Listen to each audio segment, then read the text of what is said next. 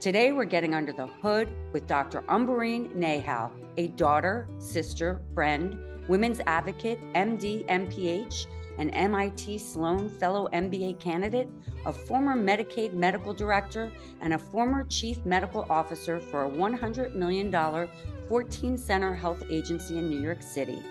She is currently the CEO and founder of a digital health company, HER Heard, incubated at MIT utilizing generative AI and natural language processing to center individual women's needs with a data driven, personalized, women specific health journey. This venture was recognized as Hot AI Startup in Boston for the Generative AI World Conference in 2023. Dr. Nehal was the clinical lead for $1.8 billion in new funding for Medicaid reform to design value based care with integration of mental health and social determinants of health.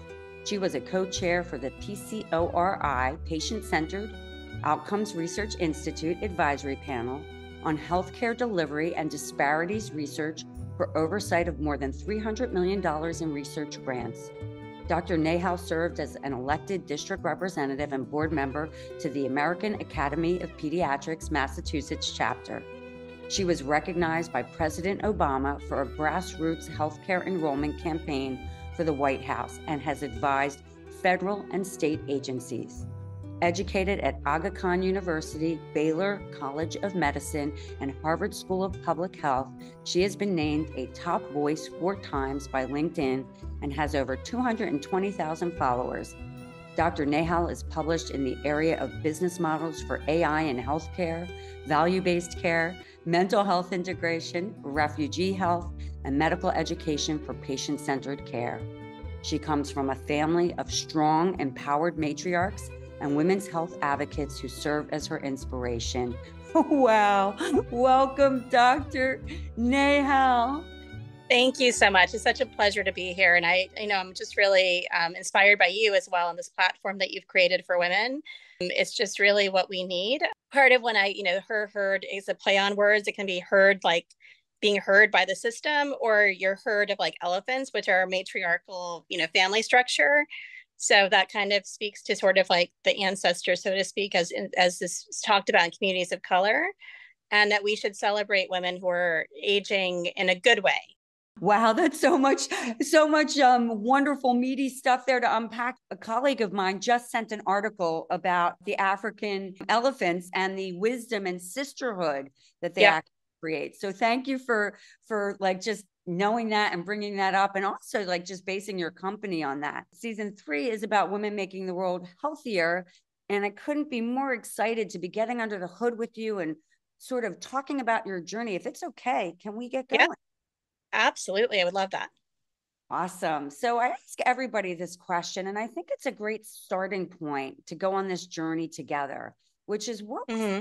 reflection point, that moment in time that really you know, incited you to go into healthcare or inspired you? Some of my earliest memories are that we would use our, we would be surgeons and our dolls would be our patients. Because my great aunt, you know, in the 1950s in Pakistan, uh, OBGYN, uh, a surgeon, physician, um, you know, community leader, and she she built her own hospital and clinic and employed male doctors. And in my family, so I actually, you know, we had a pre-conversation where we realized we're pretty similar. I wanted to be a film major at, at Wellesley, and I was not getting straight A's. And so my dad was like, you can, you know, you can do that later, but you're going to med school in Pakistan. so it was the default in my family, which has been interesting because there's a lot of like assumptions about women of color or Muslim women and a lot of saviorism towards us um, about sort of like, oh, your your your difficult parents must have forced you X, Y, Z, and it's like I think I ended up in a pretty good place. So were my parents sometimes a little bit, a little kind of close uh, on in terms of guiding me, so to speak? Yes, but I I think I ended up in a good spot. In a weird way, it was like the default. If you don't have a plan, this is your plan. You become a doctor. So, talk a little bit about those early years getting into it. I mean, clearly you have thrived, you have been flourishing in so many different ways in the healthcare space. But, like, talk about your journey to getting to where you are today through med school and stuff. Thank you. So, you know, we also talked about this a little bit. I don't have any kind of label or diagnosis. I think the system doesn't have the data on people like me, which is again goes back to HER Heard. We just need better data. There's actually a term called GIGO, garbage in, garbage out in, in tech, where if you feed garbage to AI, you're just going to get garbage output. So, you know, I don't have a label of any kind of uh, kind, but I think I'm on the neurodiversity spectrum in some way. I don't think there's anybody who would tell you, we talked about this before, like I'm not the median mode. I'm, I'm kind of an outlier. And so even though it looks like I've been flourishing, I can tell you there has been a lot of struggle. And sometimes the people who seem, quote, successful and are outliers are actually encountering barrier after barrier, problem after problem.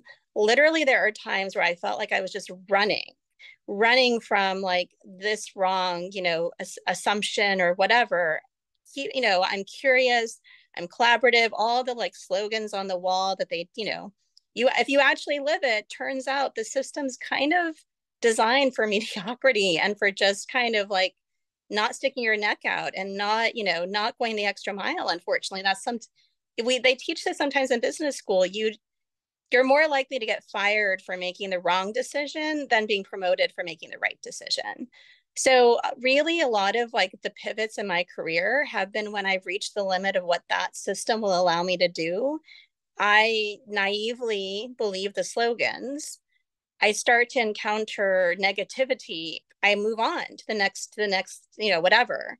And at this point, I've like essentially, in some ways, like left the system because I'm just like, I don't, I'm, I'm too um, I just feel so blocked, you know, in systems that I'm just like, well, I'm just going to be an entrepreneur. I'm going to disrupt from the outside.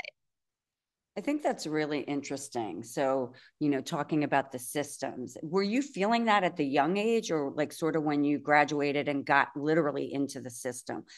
So, I think that what I would say is that I probably did encounter it as a child, but if you, um, and, and I think the thing is that I had a mom who uh, was in her PhD program. Even she actually did. Dis- I, the sad part is by being an immigrant to the United States and losing the family support and her herd, so to speak. She did not complete her PhD because, you know, like I think anybody who's a mom can relate, it's hard, right? The United States is not like Sweden or Norway and Denmark that gives all this support to women or like family leave. So she made a choice. She was perfectionist. She did everything well. She was a planner where three girls spaced ex- almost the month, four years apart. And so she, I think I had a highly educated mom who spoke the Queen's English, who gave, you know, who came, who was a, a doctor's daughter. So she was used to being valid in spaces from in her home country. And if any teacher tried to mislabel me, she showed up. She didn't, she didn't, you know, yell or scream or threaten. She just very calmly understood the rules and just pointed out how things were. And she was a very humble woman who dressed very humbly, very down to earth. Many, many, many people misjudged her as, you know, XYZ. But if you paused and you listened, you could not help but respect her and so i'm very I, I think my mom and then you know my dad had you know chose to have a stable you know job and provide for us and he had the ability to do so. I'm very privileged in terms of the um, security that my parents created around me. I also went to an all girls school that didn't have a gpa don't compete against each other identify your own potential and compete against yourself and so it was hard going into the workplace. And and you know i was but i i have you know i, I joke that on the instant i saw a tiktok about like you know, cultivate your inner like wall street bro and name him chad and chad walks in the room. And i'm like i don't need to have a chad. I already feel valid in spaces.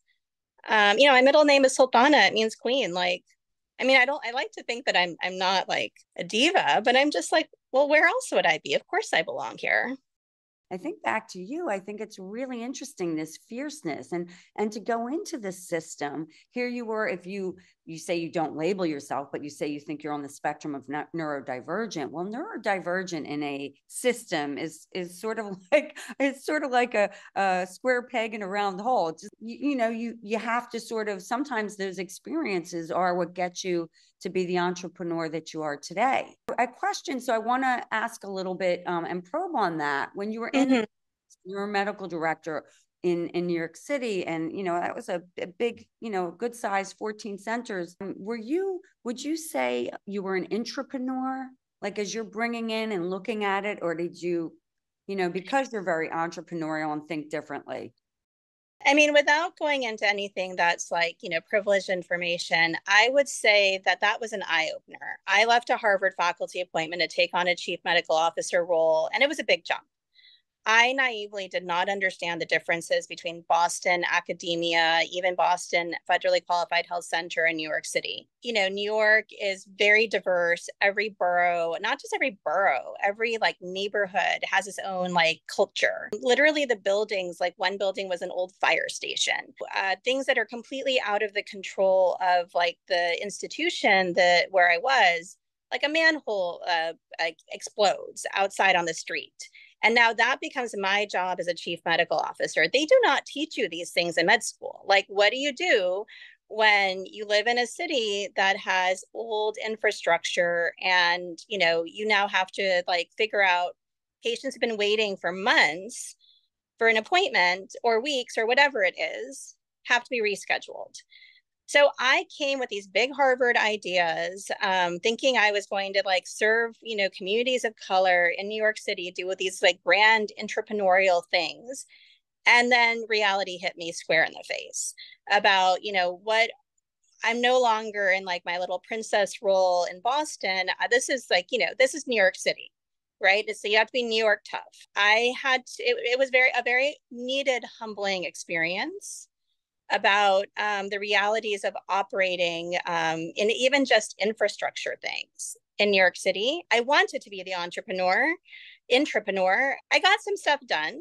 I, I definitely had to adjust my expectations. Can you share a little bit about your time at Harvard? And you know, I know that you that you did public health there. And then, like, what was that sort of? Because I think I went right to New York City, and I missed that to your job at New York City, but it was more to really address that entrepreneur side of you. So, how was that experience as well?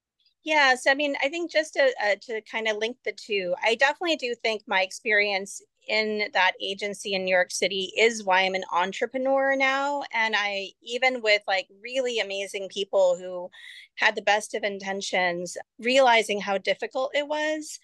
Um, and all the compliance and because you know because i think i realized that my mom protected me and my both my parents did I feel very strongly about protecting people. I feel very strongly about providing resources. So I'm not, I don't resent compliance.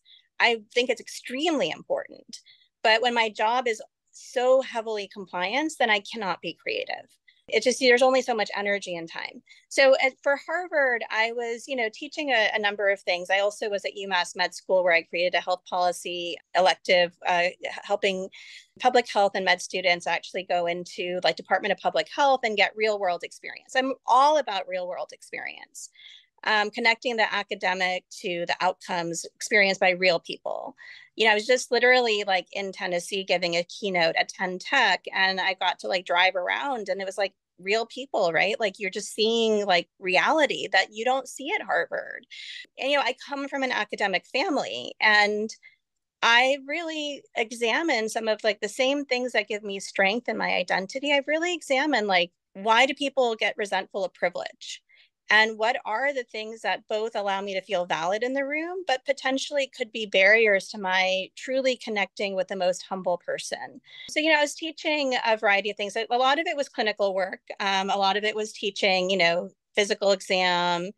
Um, but what I did encounter was that as I was trying to not just teach in the classroom, but bring it to the bedside, there's a lot of silos in healthcare. The good thing is we have a lot of teamwork the bad thing is that each entity, uh, each um, provider type has siloed education, has siloed conferences. And so when I would be like literally reading off the uh, Department of Public Health guidelines on social determinants of health, like barriers to access to food and transport, other provider types were not familiar with what I was talking about. I actually got reported to my boss as, quote, too political and making people uncomfortable at work when I was literally just reading off of guidelines. But it was pers- because, unfortunately, not enough academics bring it to the bedside. It was just not like common in that space. And so again, I just constantly find this disconnect. The posters on the wall, the lovely emails sent out by the C suite, and I've been C suite myself, and what's actually happening at the bedside, total disconnect. And if you are a neurodivergent person who is more focused on like, you know, focus on possibility, you're seeing what doesn't exist, you're like naively just thinking, oh, the words on the wall mean something. You constantly run into problems in the system. I very much value my education at Harvard. It is not a rural clinic in Tennessee. Yeah, and, and even you know, to for you to go from Harvard to New York City to, into that environment where you have 14, and to your point, looking at that role as not just a clinical role, but really mm-hmm. over community role in a way, you know. So so what was that? Did you feel overwhelmed? Were you excited? Were you like what was the mindset because you are a person to tackle problems clearly what all that you've accomplished were you excited about it were you like oh god uh, you know, I think I, I I've worked in emergency medicine. I like intensity. Um, I I, honestly, so the interesting thing is in prior roles, I was prone to migraines. And I think part of what I, I, part of it was the stress. Like there's there was an article that came out recently about when women self-silence, it causes us to have more inflammation and chronic illness.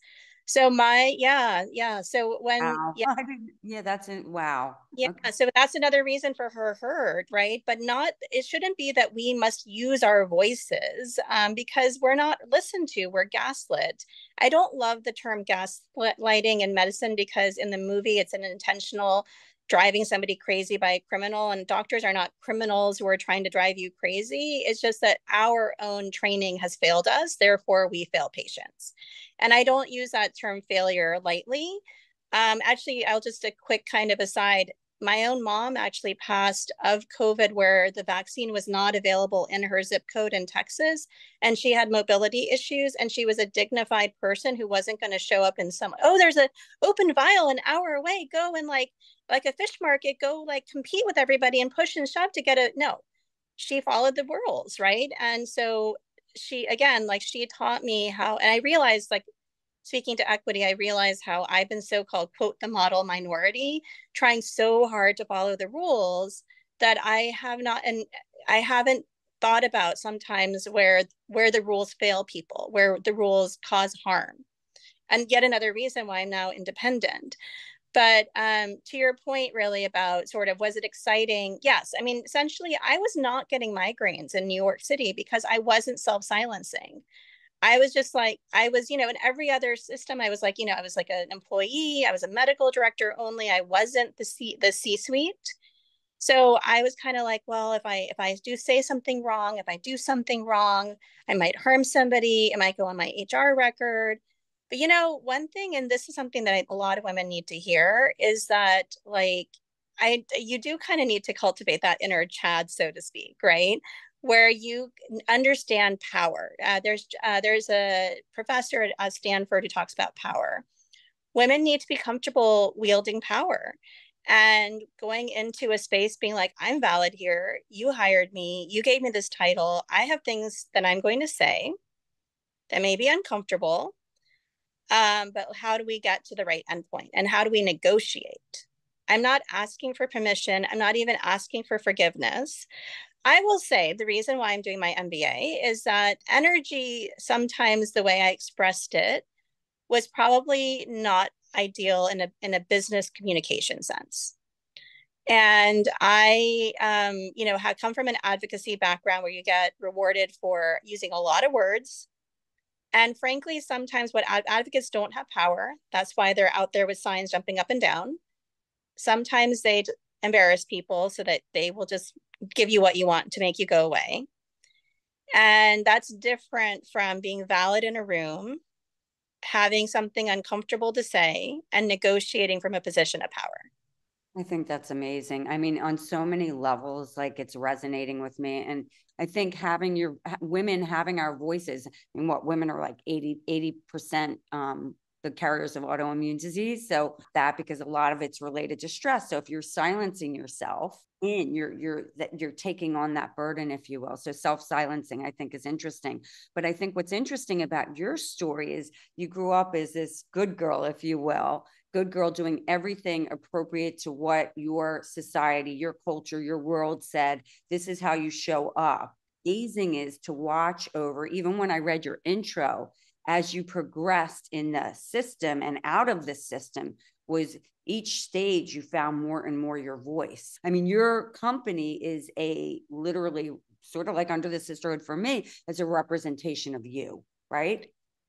It is about me, but I think also I was born in the, in the United States. I went to an all girls school.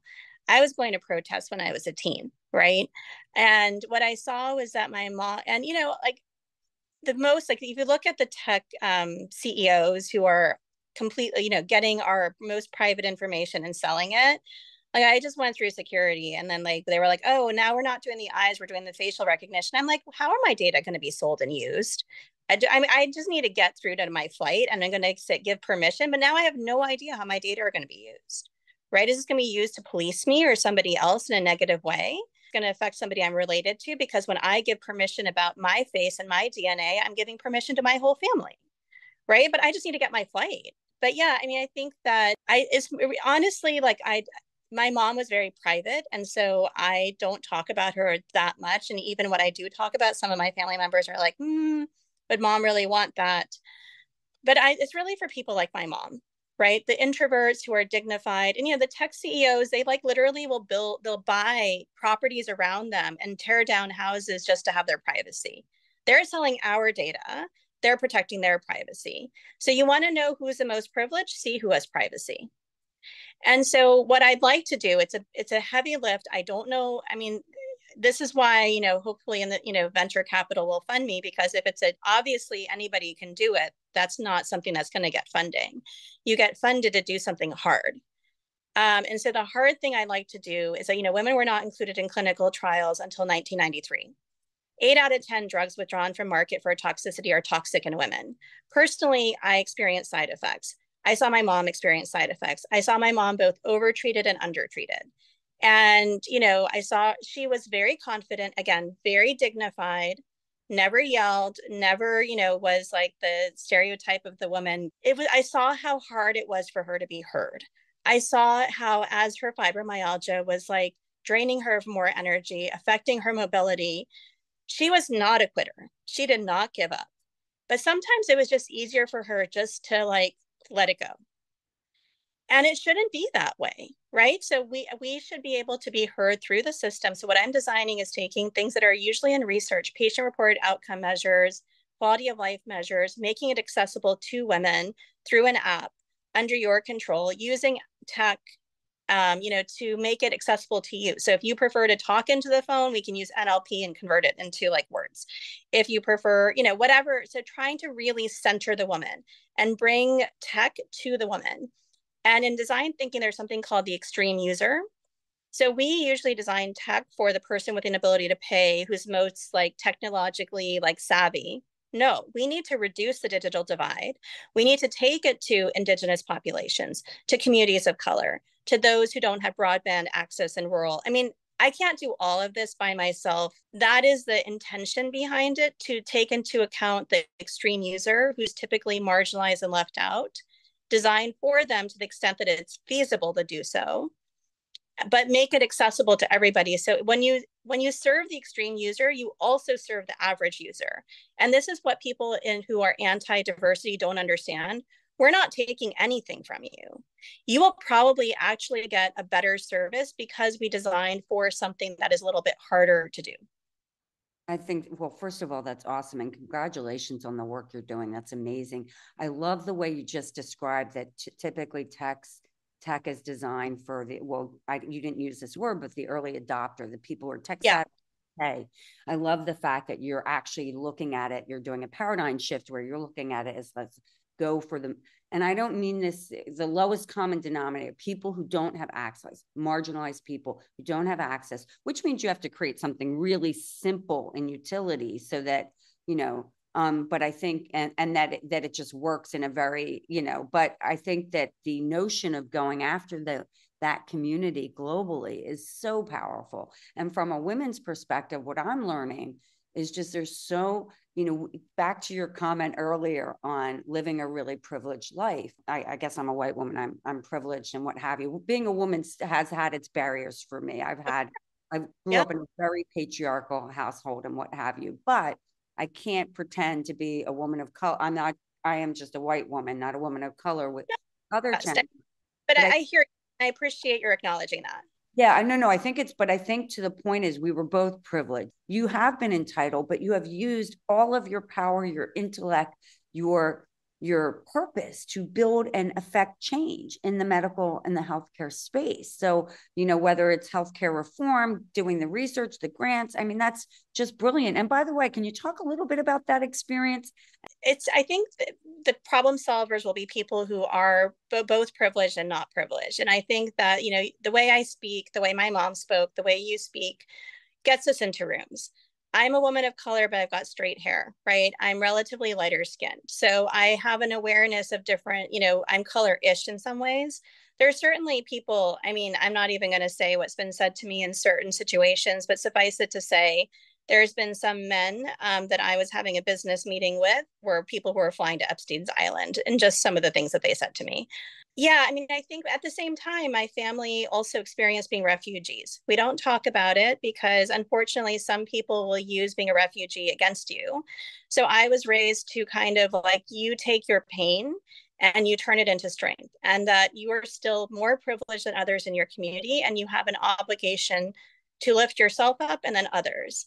And I, this is these are definitely I. It's hard to say. I would say that they're Eastern values but I was just in Tennessee and they are very community oriented there. Um, I felt very taken care of. Like my Uber driver was like, be careful. You, you know, they're like, it's like, you know, there's human trafficking here. You know, good you've got hiking boots on, use them if you need to. Like, I don't feel like a, a Uber driver in Boston or New York would give me that advice.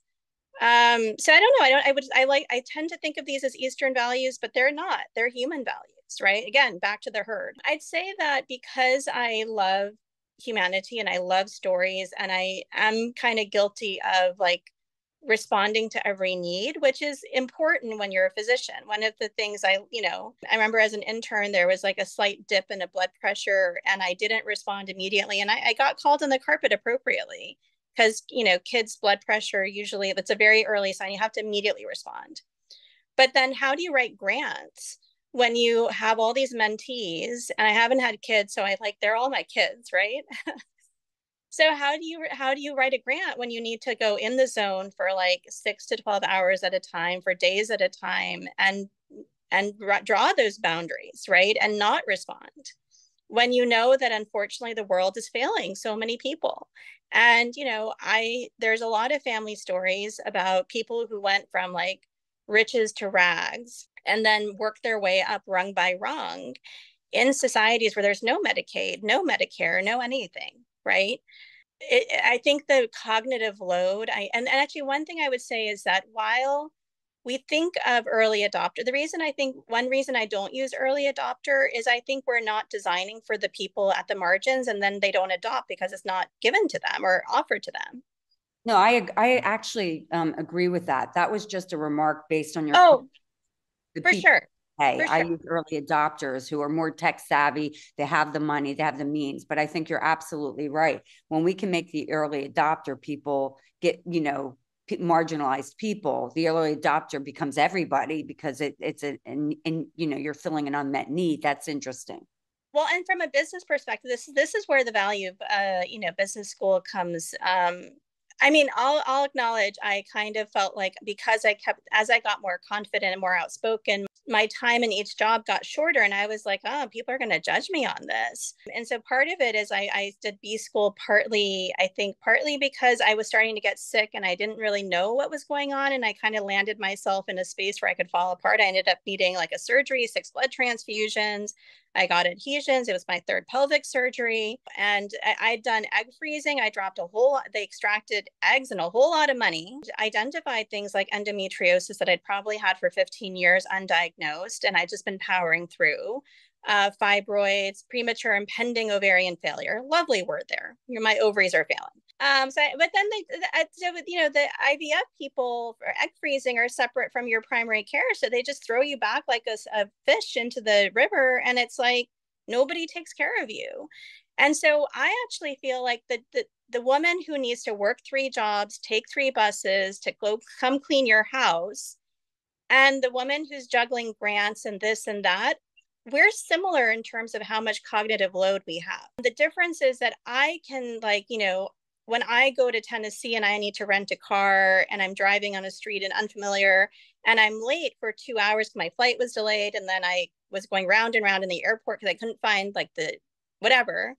People and they're just like, oh, but she's smart. She's just this brilliant person who's got like, who has like, and uh, you know, whatever, and she just can't follow directions because you know but whereas a woman who's a latina woman who's working in your home if she shows up two hours late and you needed to go to give a talk you are not going to be as kind to her right? So that the kindness that we show to people is different that's where i think privilege comes in. I think that that yes yes and. I think that's mm-hmm. yeah it's a very yes and. I'm not sure how to unpack this one. I'm like sitting here hmm I, Elizabeth, I love the fact that you're you're so open about that, and that is, I think, we need more of that. I think that we, as of those of us in these intellectual spaces, being willing to like say, like that is, there's a lot there. Let yeah. me let me ponder. Let me pause. Exactly. Well, and and it's interesting because I'm listening and i'm just like what is the right way to approach that? Because it's mm. such a delicate conversation. And i and i and I, you know so i i'm smart enough to know what i don't know and then smart enough to say hey i'm not even comfortable talking about that because it's like a it's a it's a minefield. And yet when you're living it like you've been living it. I haven't been living it the same way as you've been living it. And I do want to address, you know, thank you for sharing and being really vulnerable and sh- sharing your health issues. The one thing I want to address about that, um, is here you are, is this amazing healthcare professional. You have all these degrees. You're at MIT now. I mean, all of this stuff. 15 years you went undiagnosed with mm-hmm. endometriosis how is that even possible that we don't know our bodies that way when we're even we're you know what i'm saying? You're a specialist you specialize yeah. this but you don't know this like did you not feel that you that something wasn't right? I mean i just thought it was normal to on occasion almost pass out. I don't know how i made it through med school and residency. I like working 100 hours a week pre workout restrictions I or I don't even know. I think it was just like, you know, both of us come from physician families. The interesting thing is actually for me, I was told that being a doctor is a really good uh, job for a woman because you never have a boss. You don't have anybody who can like, you know, harass you or control you, which was true in for my for my the relatives in Pakistan, but in the US with like, most physicians employed by these behemoth conglomerates it's opposite you're just a you're you're i feel no different from like a amazon worker with a tracker on my ankle you know? Literally they have movement trackers on clinicians and i get it from operations efficiency blah blah blah blah blah but like at some point we are doing health and human services there has to be human aspect to it. And again that's another reason i've like left the system. How do we not know? So if women were not included in clinical trials till 93 we stigmatize menstruation. If we don't talk about it if you know again we both come from physician families physician families are typically kind of leaders in communities. We have to be strong right? So if my middle name is sultana or queen sultana you know then it's like as a queen you always have to have like this like presence, right? You can't show. So even when you show quote vulnerability, it's still very strategic, right? So I am sharing i'm sharing this after i've processed it when i'm communicating it as part of my story for my startup where i've already figured out the solution and so true vulnerability and i see this in you and i'm not saying this as a criticism but your immediate thing is like well then how do we approach this which is a beautiful, beautiful sentiment and feeling like I want to solve the problem. But we have to get comfortable with uncertainty and periods of time where we're just looking at the problem, feeling distress, managing that distress and just going deeper and deeper into understanding the customer, the user, the individual's experience of it, listening before rushing to do and to solve. And it's so hard for us, there are those of us who are, you know, come from families that teach us to be leaders. Honestly, Umbereen, your story is like unbelievable. Everything that you've been through and the fact that you continue to have to fight. And what I like about your journey, and a lot of women have said, my journey hasn't been linear. What's interesting about your journey is the way you pivoted. You you hit a wall in some circumstance. Yeah. About the type of brain you have, this incredibly intelligent problem solving, to your point of potentially neurodivergent, that you go and then you just shift your you know, you pivot, you pivot, you say, you know what, this is not working. I'm going to go that way and let's try that way. And so the journey, and then you have things like life circumstances, back to the word humanity. Humanity, mm-hmm. interesting word, you know. So what you're doing is touching on missing unmet needs in humanity that need to be filled. But instead of going out and just immediately, hey, here's the solution, methodically seeing, hearing, like what what is the landscape? how do you go out and really provide a solution that is meaningful and so i think that it sounds like all the work you're doing is just brilliant in doing that and really seeing that. and i think that's where we're as two organizations we're really aligned oh 100% yeah and i mean i think that you know like i as i you know, as I was describing earlier, how I can get grace when I don't do things perfectly, like you know, like oh, she's brilliant, like you know, and again, like I felt awkward saying that word about myself because you know we're supposed to be humble, we're supposed to whatever, but you know, and it's this really fine line you have to walk where you can you need to be like you know, um, you know, I I joke that if um to be the servant leader, but what happens if you walk in the room and people mistake you just for the servant? Right if um i the, depending on how i dress or whatever you know i could i mean the, the good the good thing is is that you know there's something called management by walking around so and my my mentor dr Feigin at baylor taught me this he would you know show up every morning at 5 a.m in the ed to see how is it you know how talk to the residents uh, you know, walk the floors and very like he knew everything that was happening. He knew everybody's name, every parking attendant's like name, knew their families. So I did the same in New York. I was always in the centers. As a result, my communication was more by email versus the like, you know, typical executive one-on-one, you know, conversations, et cetera, et cetera. Um, but I, you know, if I st- sat behind the reception desk in the Bronx or, you know, Harlem, I could be mistaken for one of the Latina nursing assistants or receptionists. So it's good and bad. The good part is that people are so comfortable around me, I see what's really happening. They forget who I am. Um, on the other hand, I had people like, you also see how women like that are treated. So, um, you know, there were things that I saw and encountered that other C suite executives um, were not aware of. And that's really hard, right? So when you're trying, when you have like, you have like relatives who've been in, you know, refugees, you have you know generational trauma in your body. You see things because you know in a certain way. I don't assume everything's against me personally. I intellectualize. I you know leave the kind of i leave the situation and i'm kind of like they talk about going to the balcony. And but on the other hand that's also a trauma response right? Where you leave your body. So how is it that i didn't know? Like i have a cap- capability of like probably again a neurodivergent thing. I hyper focus and I just don't feel things in my body. I've literally had to do mindfulness training to learn to feel things. But then I'm also trying not to become a nervous Nelly where I'm constantly like, is this twin or something? Is that twin or something?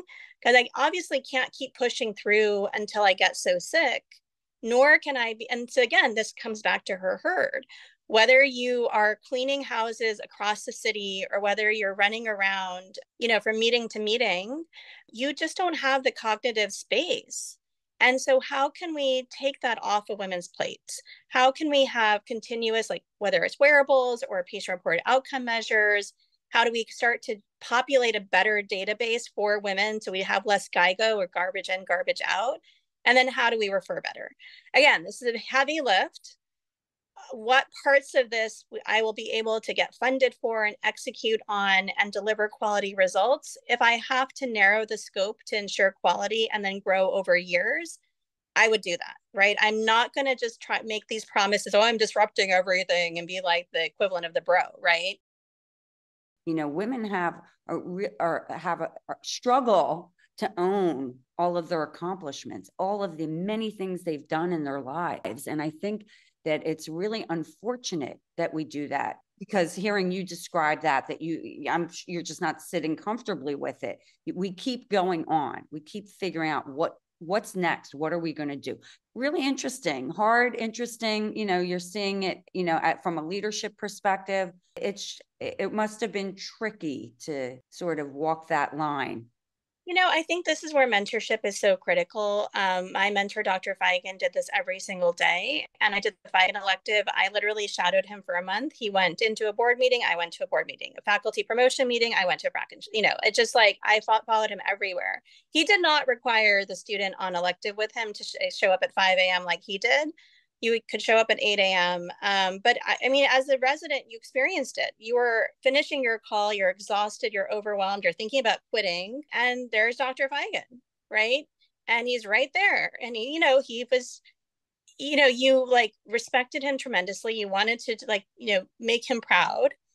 But it wasn't like it was like there was like it was true camaraderie, right? And it was a sense that he's he's you know, one of the most important things in, in clinical medicine, in design thinking, and anything is observation. You just have to be there. It seems like, quote, a waste of time because you could be in a meeting with these fancy, you know, hot shot, fancy pants, whatever. You could be schmoozing to like, you know, grease the skids to get that grant funding. We all know that's how it works. You need to develop relationships, you need to be a known quantity are you quote wasting your time by spending your time like, just sitting there in a center, um, not writing a grant, not schmoozing, whatever.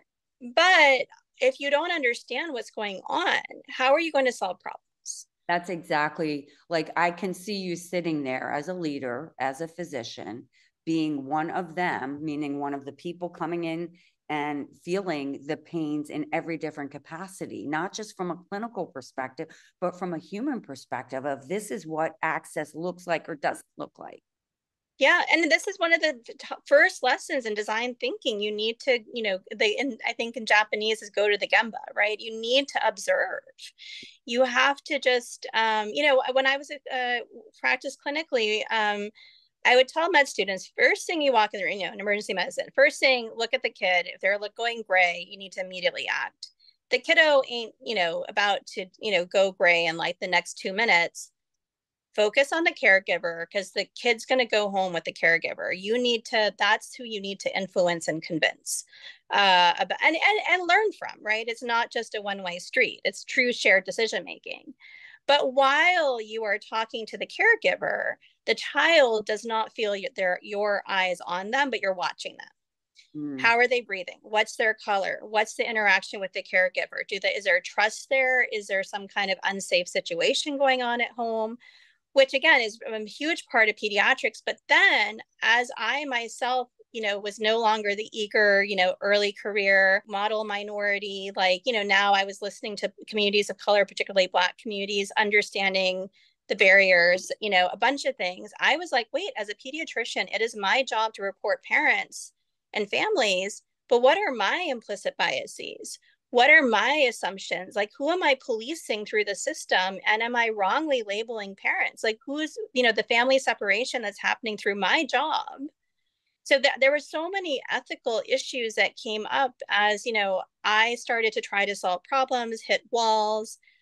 And i was and it's sad that you have to experience it before you can under you know like that's the problem with empathy is that if you don't have the lived experience in yourself, your ability to feel empathy for somebody else is really limited.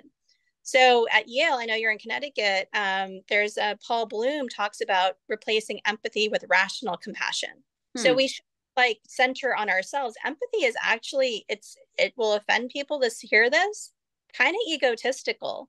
I feel your pain. The subject of that sentence is I. And by the way, you probably never, unless you unless you've had Graves' disease, you haven't felt my pain because you haven't experienced the same thing I've experienced. So in a way, yeah. I've written a lot about empathy. So and probably wrongly, I go openly and say that. No, not really. Empathy by design. I've looked at it differently. But sure. is to your point, I think there is ego. I think that's interesting, rational compassion.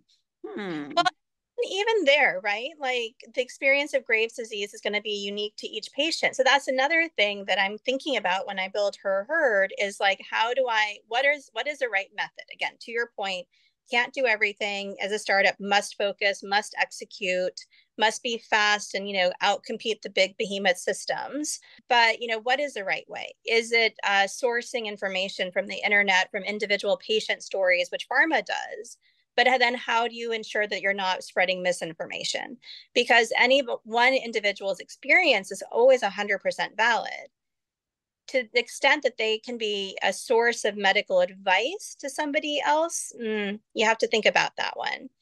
But women do want to hear from other women. Again the herd right um, being heard, uh, hearing people's stories. But, um, you know, there's a, a, professor who's uh, truly brilliant, you know, many brilliant people in the world, but uh, Linda Griffith at MIT, who founded, co founded a Gyn Path Lab, Gynecology and Pathology, just again, start to help us understand our bodies better. Um, she was quoted, I believe, in NPR talking about it sounds funny, but period privilege. Mm-hmm. Don't have difficult periods, center on themselves, benchmark on their own experience, and be like, oh, no big deal. Just like pop a Midol and like go to work, you know? Meanwhile, there are women with like debilitating pain. And the interesting thing is, I don't, you know, I don't know. I'm sure some psychologists could spend like a long time, you know, unpacking me. I my endometriosis was not causing pelvic pain it was a neurologist off of LinkedIn a year ago who shared with me decades old data that was never shared with me that endometriosis has impacts on your nerves causes what's called autonomic dysfunction which causes blood pressure fluctuations and migraines. And we treat endometriosis like a surgical disease but i mean migraines what are you going to do? Do a lobotomy? Like we used to do that on women hopefully we don't do that anymore. We we need better diagnostics. We need better therapeutics. You know there's some overlap of endometriosis and the ways that autoimmune functions. You know some people find this like a controversial thing to say but i saw a tweet on on twitter that was like we should we have cancer centers. Why don't we have endometriosis centers? Because it affects almost every organ in the body Interesting. Yeah. And I heard different stories. I actually interviewed um, the filmmaker Shannon Cohn, and she, oh, yeah. she did Under the Belt. But I think what was interesting about her story is it took her over, I don't know if it was 10 years or 13 years. I don't want to get the number wrong, somewhere between sure. 13 years to get diagnosed. She, yeah. from a young kid, started having these problems like teenager, but yep. she very rigged her life. She was at like a high end lawyer in you know, big law firm, what have you. And she was jerry rigging, debilitating pain. Back to your point is it's very different for endometriosis isn't like a one. Yes. every you know everybody's different so i think that's interesting i'm going to move move along because yeah, sure. um but this has been this has been an amazing conversation do you want to talk a little bit before we close about what your mission is and your vision yeah, I mean, so I, I like, you know, I think drawing on so many things that we've already talked about, whether it's rational compassion, being data driven, better data, reducing the GIGO, we're moving into an AI, you know, powered world. Um, as a, you know, practicing physician, I've seen how much the system affects my ability to practice, the pressures, um, literally, you know, so so uh, awareness of all of that, feeding all of these experiences that other women, you know, I've spoken with over 200 women and over 40 clinicians and I'm online all the time, like looking at what people are saying. And I, I like constantly every Uber driver I talk to. So it's really to to draw all this like collective experience from the herd of men and women. You know, men are very much a part of this. Or 50% of the population we're all born of a womb. We're all born of a uterus until we have an artificial womb. So this matters to everybody. And male caregivers are just as critical as women who are experiencing the disease. Men are valid in this space, we need them. So, how do we build something that takes women's, uh, that allows women to input their data, be describe themselves as they describe themselves, reduce administrative burden on them and on the system. For women's like data, stories to turn into data that turn into something that the system understands to deliver outcomes so that women can thrive in their lives for quality of life, for being able to have social lives, because right, loneliness is a problem. Um, for people to be able to keep their jobs, thrive at their jobs, um, not be scared and hiding, you know, what's going on with them, but be able to have language and data to communicate. Be like, this is a problem. These are the you know solutions that are needed. Let's get to outcomes. Be very pragmatic. The emotional support is equally needed, but it is really about helping women get better results. This is your platform today, Umbereen, to give women a message, a women of all ages, of all cultures, of all backgrounds. What do you want to say to them? I would just say that we need to, and I just use just, which I just need to stop doing, lean into the discomfort. Lean into, you know, we want safe spaces personally as somebody who's like my own body has not been safe for me i lean into the discomfort. I use it. And you know we all have different types of privilege as we talked about we all have different types of barriers. Let's not get cliquish let's not I, I do think there's there's value to having your own personal herd your own group. So both and to your point what you said earlier. Have the people around you that support you that nurture you to fill your cup have your safe space simultaneously do not get siloed. Lean into the discomfort, keep learning, keep, you know, the algorithms are going to keep dividing us and drive an outrage economy. Fight it. Do not let them do that. Do not let them divide us, right? Our diversity is beautiful. We're not all going to get along. Women are 50% of the population. When people are like, why can't women get along? Why can't men get along? Right? We don't say that.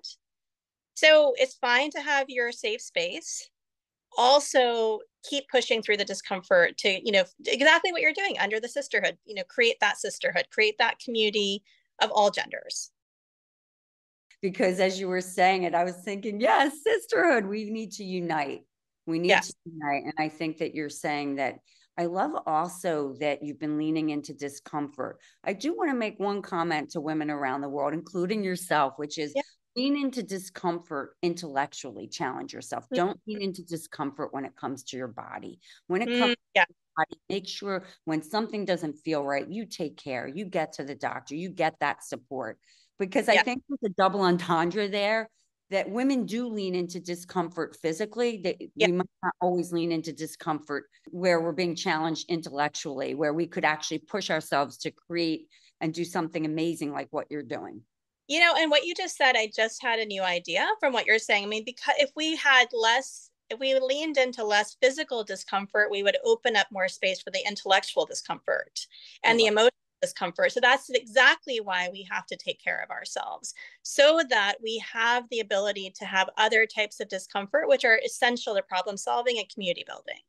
Dr. Nehal Umberine, thank you so much for your time getting under the hood with me. You are just amazing. And I can't You're- wait to see you continue to shine. Thank you. Well, and I thank you for this platform. It's just been, uh, it's just, this really fills my cup. Thank you. Thanks for listening to Under the Sisterhood. If you haven't already, please give us a quick rating and review on Apple or Spotify. And make sure to follow us on Instagram, Facebook, YouTube, and LinkedIn so you can hear from more amazing women. This podcast is created and hosted by Under the Sisterhood LLC and Elizabeth Elfenbein, produced by Elizabeth Elfenbein and Matt Butler, and edited by Matt Butler. The music is by Ayla Schaefer, her song Rose.